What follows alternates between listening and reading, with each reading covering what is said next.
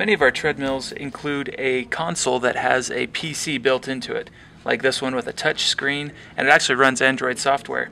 Um, to, to get things working nicely on here, we've got this information button. Press into there, and then press on the settings button, this, this cogs wheel here.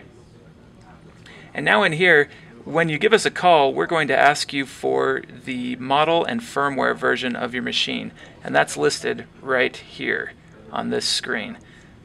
Another thing that you can do here is calibrate the incline by pressing on that and then pressing begin, and that'll get your incline back in sync uh, so that it's running properly. One more time from the home screen, you press the I button, then you press the settings button, this, these cog wheels. And then here it says your model and firmware version. And here, Calibrate Incline will get things back in sync. Thanks very much.